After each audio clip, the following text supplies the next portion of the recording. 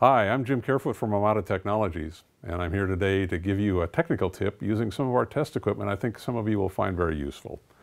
If you're experienced in doing troubleshooting in two-wire systems, you know how important a milliamp clamp meter like the Armada uh, Pro 93, Pro 95, Pro 95i can be in determining where there are faults in your system.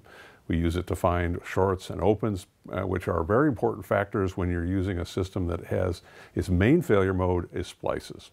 So we're out there um, looking for a way to, to do troubleshooting uh, on a system with a clamp meter. And in that case, we're doing that. We have to have some current flowing in the, in the cable in order to be able to find the things we're looking for. Uh, normally, you might have a, um, a, troubleshooting mode in a controller that's live that you can use. You might have an AC adapter that's providing 24 volts, some kind of a device to put current on the cable that allows you to do the, the clamp meter troubleshooting.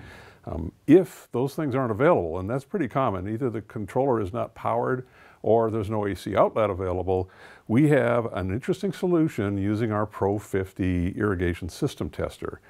Um, it wasn't designed originally to do this job, but we realized that when this thing is doing the 24 volt uh, solenoid testing, that it provides the kind of current we need in the cable. So we uh, can use the Pro 50 to source current and allow us to use the clamp meter and it doesn't matter whether we have um, any power. All we need are the AA batteries in the Pro 50.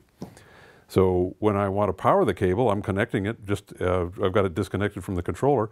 I'm connecting my, my irrigation tester, the Pro 50, to the cable. I turn, it, I turn the meter on, and now I hit F3 to go to the 24 volt generating mode, and I turn on with F1.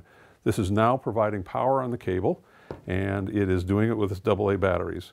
So now I can go through the system, checking the currents as I go, looking for too much current, too little current, things, signs that tell me that the splices are bad. They've been disconnected. There's water shorting out the things in the, in the box.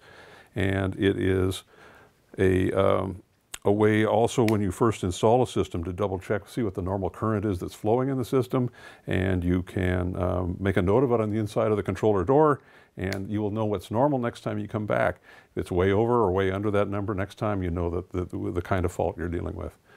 So um, really nifty way of not being blunted in the field when you need to do this kind of testing just because there's no AC outlet available. AA batteries, irrigation controller, tester, and a milliampere clamp meter, and you're in business.